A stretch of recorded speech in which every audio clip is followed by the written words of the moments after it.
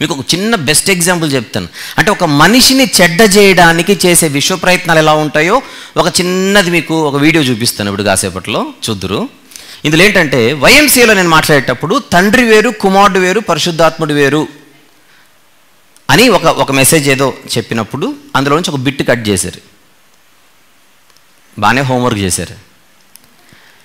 తర్వాత నేను చిక్కాలలో కొన్ని సంవత్సరాల కిందట మూడు సంవత్సరాల కిందట మీకా గ్రంథ వివరణ చెప్పేటప్పుడు రాత్రి వేళ సభలలో నేను మాట్లాడుతూ యష్యా గ్రంథం తొమ్మిదో అధ్యాయం ఆరో వచనం వివరిస్తున్నాను. ఆశ్చర్యకరుడు ఆలోచనకర్త బలవంతుడైన దేవుడు నిత్యుడుగు తండ్రి సమాధానకర్త యొక్క అధిపతి అని ఆయనకు పేరు. అంటే దాని అర్థం ఏంటి అని ఎక్స్ప్లెయిన్ చేస్తాను. ఎందుకంటే బయట సమాజంలో యశాగ్రంథం తొమ్మిదవ అధ్యాయము ఆరవ వచనములో ఉన్న మాటను వక్రీకరించి తెలిసి తెలియని ఆలోచనతో వాళ్ళు ఏం చేశారంటే తీద్దాం ఒకసారి. యశాగ్రంథం తొమ్మిదవ అధ్యాయం ఆరో వచనంలో.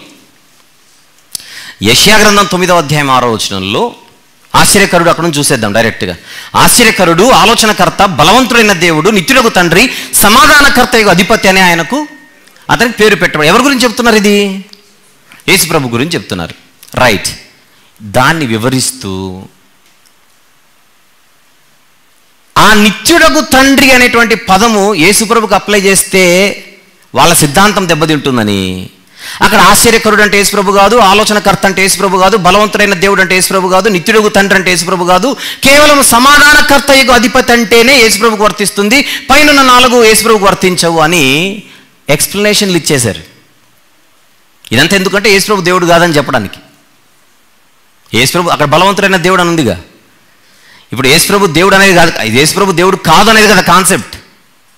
ఎవరు?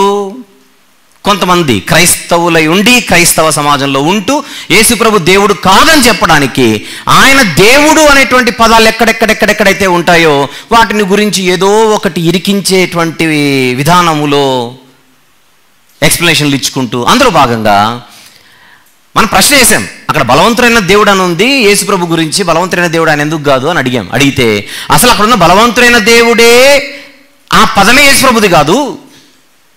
కేవలం చివరన ఉన్నటువంటి సమాధానకర్త యొక్క అధిపతి అన్నది మాత్రం ఆయనకు వర్తిస్తుంది. అందుకే చివరిన పేరు అనుంది కానీ పేర్లు అని లేవు కదా సమాధానకర్త యొక్క అధిపతి అని అతనికి పేరు పెట్టబడును. ఒక పేరు మాత్రమే ఆయనకు వర్తిస్తుంది. ఆశ్చర్యకరుడు అనే పేరు అయింది కాదు ఆలోచనకర్త అనే పేరు అయింది కాదు బలవంతుడైన దేవుడు అనే పేరు అయింది కాదు నితురగు తండ్రి అనే పేరు అయింది కాదు సమాధానకర్త యొక్క అధిపతి అనే పేరు మాత్రమే అయింది. అందుకే అక్కడ ఏకవచన సంబోధన పేరు అనంది పేర్లు లేవు. అప్పుడు దానికి నేను చిక్కాలలో చెప్పి పాప మీరు చాలా పొరబడ్డారు. ఆదికాండం నుంచి ప్రకటన గ్రంథం వరకు ఉండేటువంటి అనేకమైన పేర్లలో అతిపెద్ద పేరు ఇది ఆశ్చర్యకరుడు నుంచి సమాధానకర్త యొక్క అధిపతి వరకు మొత్తం ఒకటే పేరు. అది మూల భాషలోకి వెళితే ఒరిజినల్ లాంగ్వేజ్లోకి వెళితే పెలే జోయేజ్ ఎల్ గిబ్బోర్ అబి ఆత్సార్ షలోమ్ అని ఉంటుంది అని ఆధారాలతో సహా చూపించాను. విన్నారు కదా ఇది? తెలుగులో మీకు వేరువేరుగా పదాలు ఉన్నా హెబ్రి భాషకు వచ్చేసరికి అక్కడ కనపడుతోంది పెలే జోయెజేల్ గిబ్బో రబి అత్సార్ షలోమ్ అని ఉంటుంది. అదంతా ఒకటే పేరు బైబిల్లో అన్నిటికంటే అతిపెద్ద పేరు అదే. గనుక అక్కడున్నటువంటి వాటన్నిటిని వివరించి విడగొట్టి మీరు చూడకూడదు అదంతా ఒకటే సింగిల్ నేమ్ అది పెద్ద పేరు అది. అని వివరించాం.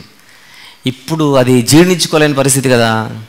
ఇప్పుడు ఆ మెసేజ్ నుంచి కొన్ని బిట్లు వైఎంసీలో చెప్పిన దాన్ని కొన్ని బిట్లు కట్ చేసి ఏంటి? నేను యేసుప్రభు నిత్యుడగు తండ్రి ఎలా అవుతాడు? యూట్యూబ్లో ఉంటుంది యేసుక్రీస్తు ప్రభు నిత్యుడగు తండ్రి ఎలా అవుతాడు? యహోవా దేవుడుని మనం తండ్రి అంటాం. యేసుప్రభు నిత్యుడగు తండ్రి ఎలా అవుతాడు? అన్నదానికి ఎక్స్ప్లెయిన్ చేశాను. అక్కడక్కడ కట్ చేసి మీకు అంతా ఇప్పుడు ఆరు నిమిషాలు ఉంటుంది. కొన్ని వారాల కిందటే ఒక అన్నగారు నాకు పంపించారు నేను పెద్ద మైండ్ చేయలేదు కానీ ఇప్పుడు సందర్భం వచ్చింది కనుక చూపిస్తున్నాను. చూడ చూద్దాం ఒకసారి. వాక్యము వక్రీకరించబడుతున్నప్పుడు మనము మరింత జాగ్రత్త వహించాలి. విషయం చెప్పనా? యేసుప్రభు గురించి బైబిల్లో ఇచ్చిన స్టేట్మెంట్ మీరు చూస్తే నిజంగా ఆశ్చర్యపోతారు. ఏంటిది? ఏంటిది అని. యోహాను సువార్త ఎనిమిదవ అధ్యాయం. చూడండి ఒకసారి. యోహాను సువార్త ఎనిమిదవ అధ్యాయం. ఇరవై ఎనిమిదవ వచ్చిన చూద్దాం జాగ్రత్తగా. లేదా ఇరవై ఆరు చూద్దాం తర్వాత ఇరవై ఎనిమిదికి వద్దాం ఇరవై ఆరు. మిమ్మల్ని గురించి చెప్పుటకును తీర్పు తీర్చుటకును చాలా సంగతులు నాకు కలవు గాని నన్ను పంపినవాడు సత్యవంతుడు. నెక్స్ట్ మాట నేను అండర్లైన్ చేయడం మాట నేను ఆయన యొద్ద వినిన సంగతులే లోకమునకు బోధించుచున్నాను. కనబడిందా ఈ వచనం అందరికీ? ఈ వచనం అందరికి కనబడిందా అని అడుగుతున్నాను. నేను ఆయన యొద్ద వినిన సంగతులు. వినొచ్చా నేను? నా తండ్రి దగ్గర వినొచ్చా నేను? నా తండ్రి దగ్గర వినొచ్చాను. విన్న సంగతులే చెబుతున్నాను. నా సొంతంగా ఏం మాట్లాడట్లేదు. కింద వచ్చిన ఇరవై ఎనిమిది ఇరవై ఎనిమిది. కావున యేసు ప్రభు వారు మీరు మనుష్య కుమారుని పైకెత్తినప్పుడు నేనే ఆయనననియు. నెక్స్ట్ మాట. నా అంతట నేనే ఏమీ చెయ్యక అర్జెంటుగా దీని అందరూ చూడాలి. తండ్రి నాకు నేర్పినట్టు ఈ సంగతులు మాట్లాడుచున్నాను. తండ్రి నాకు నేర్పినట్టు తండ్రి నాకు నేర్పినట్టు నేను తండ్రి యొద్ద నేర్చుకొనొచ్చాను. చెప్పండి నేర్చుకున్నదెవరు? నేర్పించినదెవరు? ఇక్కడ ఈ పర్టికులర్ కాంటెక్స్లో నేర్చుకున్నదెవరు? నేర్పించినదెవరు? చెప్పండి. నేర్పించినది తండ్రి అయిన యహోవ దేవుడు నేర్చుకున్నది యేసుస్వామి. ఈ డిఫరెన్స్ చాలామందికి తెలియట్లేదు క్రిస్టియానిటీలో. క్రైస్తవులలో చాలామందికి డిఫరెన్స్ తెలియట్లేదు. తండ్రి కుమారుడు కుమారుడే తండ్రి అనుకుంటున్నారు. తండ్రి వేరు కుమారుడు వేరు. అదేంటండి చిన్నప్పటి నుంచి అది విన్నామంటే చిన్నప్పటి నుంచి విన్నారు ఏం చేద్దాం? కుందేలకు మూడు కాళ్ళే అని. ఇప్పుడు నాలుగో కాళ్ళు చూపిస్తున్నానుగా. చిన్నప్పటి నుంచి మీరు మూడు కాళ్ళని నమ్మారండి కుందేలుకి. నేనేం చేసేది మరి? నా తప్ప? తండ్రి వేరు కుమారుడు వేరు యహోవా దేవుడే యేసుక్రీస్తు ప్రభువుగా అవతారం మార్చుకొని వచ్చి రక్తం కార్చలేదు. తండ్రి అయిన దేవుడు తన కుమారుని పంపాడు. మీరు ప్రార్థన చేసేటప్పుడు తప్పు చేస్తున్నారు. సందర్భంగా చెప్పేస్తున్నాను. మీరు ప్రార్థనలు చేసినప్పుడు తప్పు చేస్తున్నారు. తండ్రి మా కోసం ఈలో ఈ లోకానికి వచ్చి రక్తం కార్చి ప్రాణం పెట్టి తిరిగి లేచాడు తండ్రి. నీ గాయపడిన హస్తాల చేత నన్ను కాపాడుతాను నీ గాయపడిన హస్తాల చేత నన్ను స్వస్థపరచు తండ్రి. నీ సిలువ చాట నన్ను మరుగుపరచుకో తండ్రిని మీరు చేసేస్తున్నారు గట్టిగా. అది తప్పు.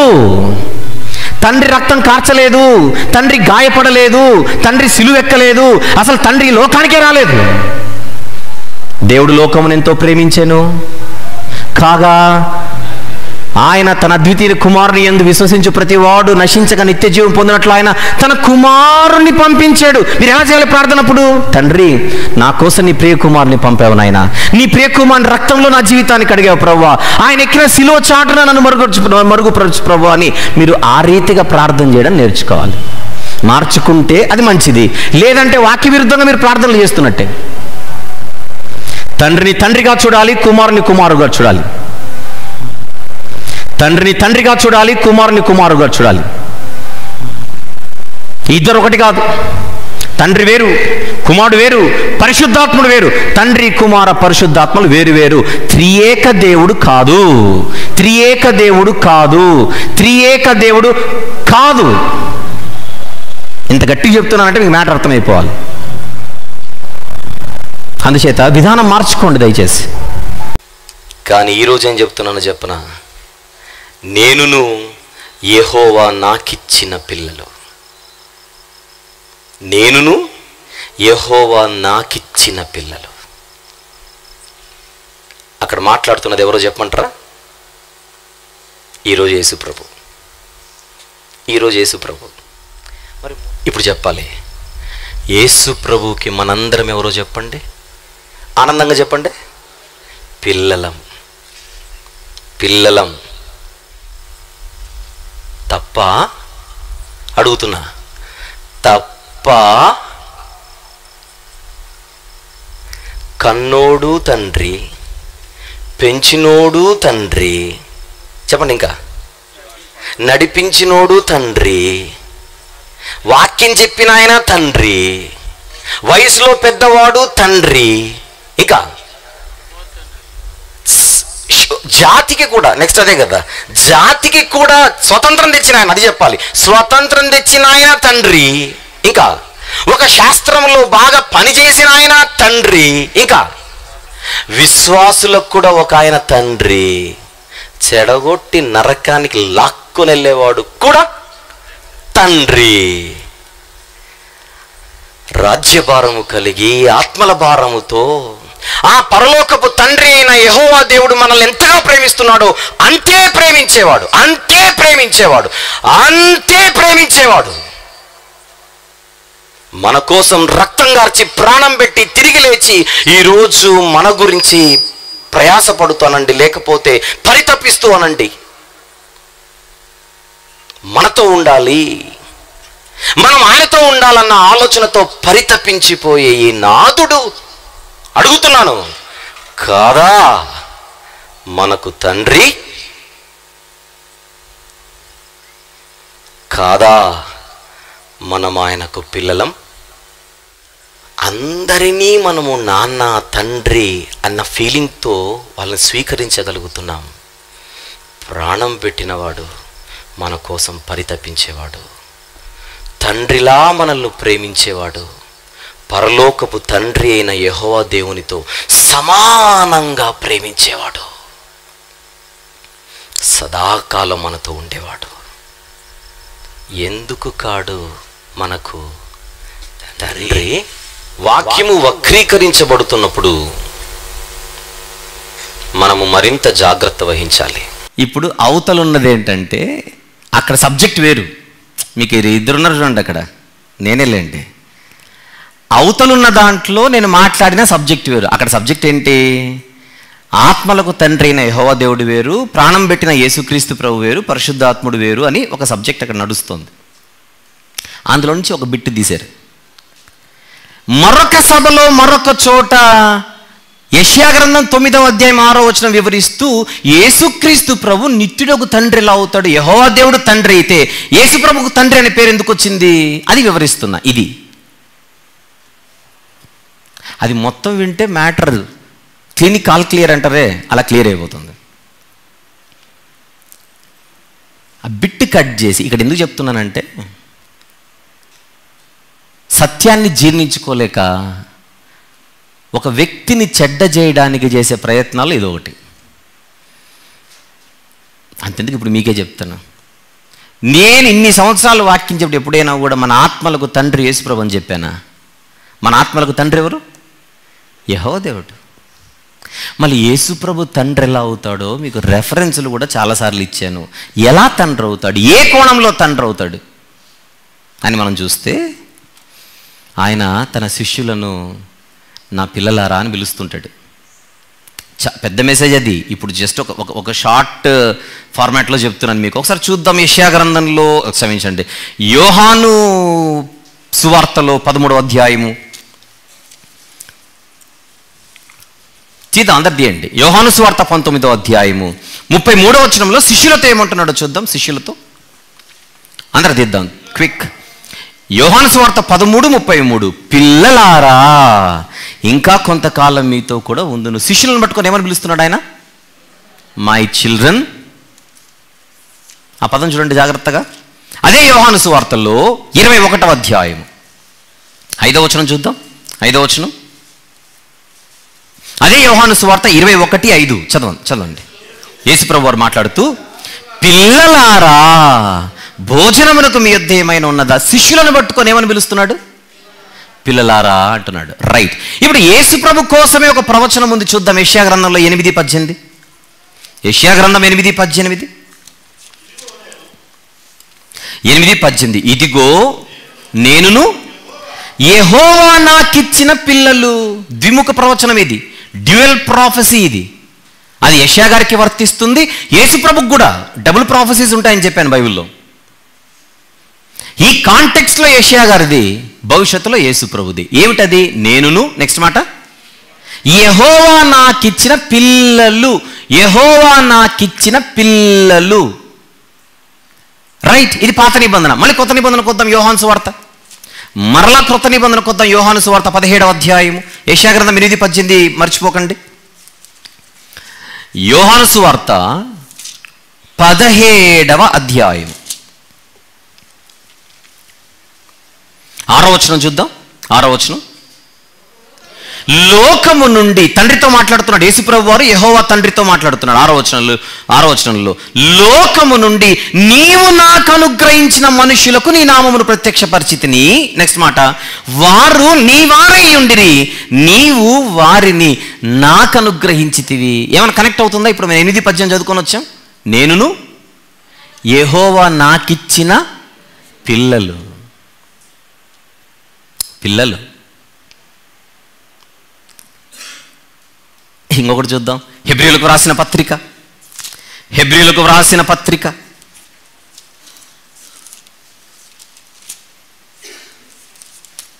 రెండవ అధ్యాయం. పన్నెండవ వచనము పదకొండు పన్నెండు నుంచి చూసుకుంటూ కిందికి వెళ్ళిపోదాం. పరిశుద్ధపరచు వారికి పరిశుద్ధపరచబడు వారికి అందరికీ ఒక్కటే మూలము. ఈ హేతువు చేత వారిని సహోదరులని పిలుచుటకు ఆయన సిగ్గుపడక నీ నామమును నా సహోదరులకు ప్రచురపరుతును. యేసుప్రభు గురించి. యేసుప్రభు గురించి.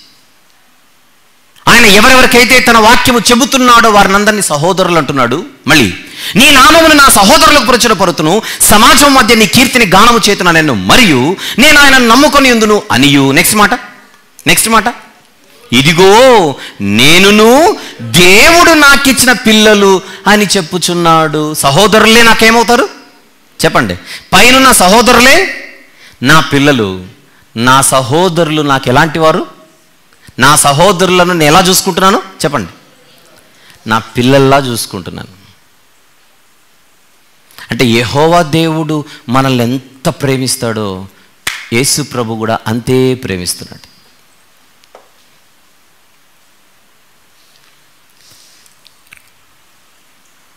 నేనును యహోవా దేవుడు నాకు ఇచ్చిన పిల్లలు. వారు నాకు సహోదరులు. కానీ నేను వారిని ఏం చూస్తున్నాను? వారిని వారిని ఎలా చూస్తున్నాను? నా పిల్లల్లా చూస్తున్నాను. నేను ఎన్నోసార్లు చెప్పాను.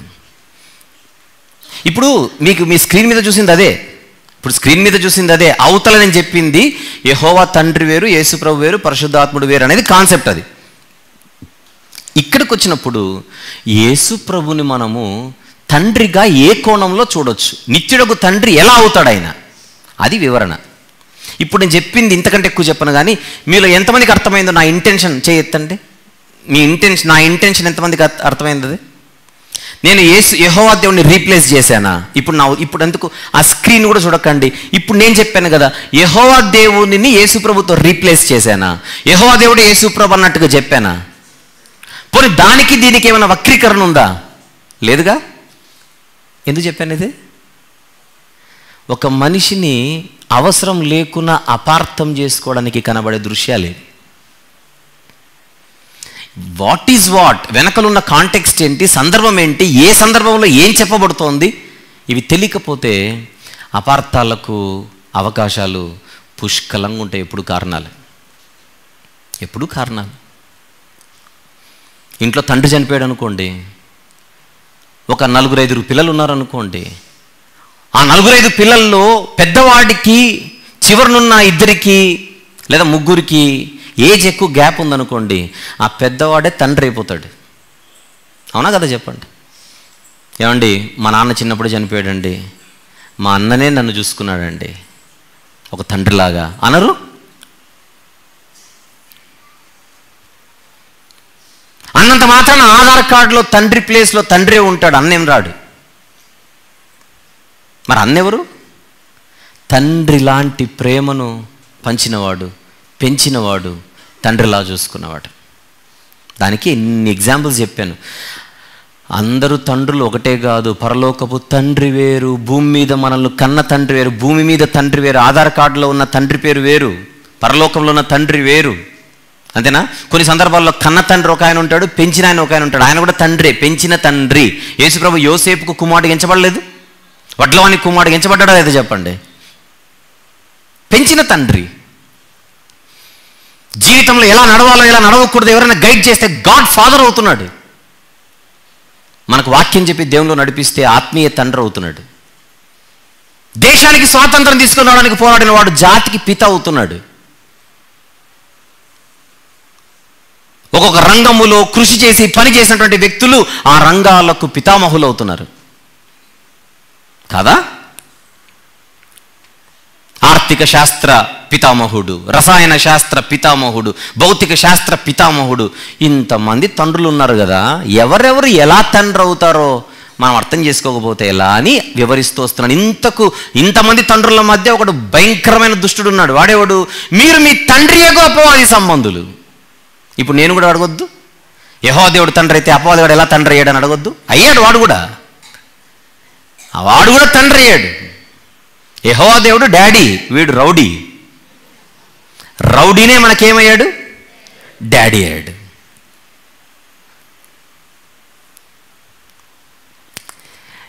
ఏదైనా కూడా ఇప్పుడు చూడండి ఇప్పుడు దానికి నేను జస్ట్ ఒక పది నిమిషాలు చెప్పగానే అందరికీ పటాపంచలు అయిపోయింది క్లియర్ అయిపోయింది. క్లారిటీ ఈజ్ ఇంపార్టెంట్ మనకి ఏదైనా ఏదైనా ఇన్ని సంవత్సరాల ప్రయాణంలో ఇంత సుదీర్ఘ కాలం మనం ప్రయాణం చేసేటప్పుడు ఏదైనా ఒక మాటలో మీకు వెంటనే స్పష్టత రాకపోతే అడిగే హక్కు మీకుంది అడిగే స్వేచ్ఛ మీకుంది అడిగే స్వతంత్రం మీకుంది ఉపయోగించకపోతే నేనేం చేయలేను. అంతేనా? కనుక అవసరాన్ని బట్టి కొన్ని కొన్ని సందేశాలు ఇవ్వాల్సి వస్తుంది. అవసరాన్ని బట్టి కొన్ని కొన్ని ప్రకటనలు ఇవ్వవలసి వస్తుంది. అన్నిటినీ మనము తీసుకొని అపార్థానికి దావి తావిస్తే ఇవన్నీ కూడా అంత ఆరోగ్యకరమైనవి కాదు. ఆరోగ్యకరమైనవి కాదు.